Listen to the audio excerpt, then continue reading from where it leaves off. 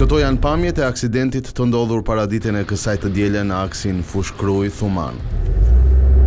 Në përplasje janë përfshirë tre automjete, por nuk raportohet për viktima dhe të plagosur rëndë.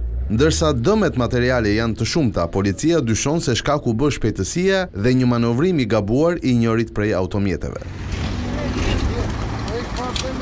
Më herët gjatë ditës, tre persona u plagosën në një aksident në Durrës. Ngjarja ndodhi pranë mbikalimit të Plepave, ku dy automjete u përplasën kokë më kokë dhe për pasojë tre persona nga e njëjta familje u lënduan. Drejtuesi i mjetit dhe pasagjerët që udhëtonin në të njëjtën makinë ndodhen jashtë rrezikut për jetën. Një tjetër aksident i rëndë ndodhi edhe në aksin Laç-Mamurras pranë fshatit Gjorm, rreth orës gjashtë të mëngjesit. Automjeti tip Volkswagen ku udhëtonin dy të rinj doli nga rruga duke përfunduar në një tokë bujqësore.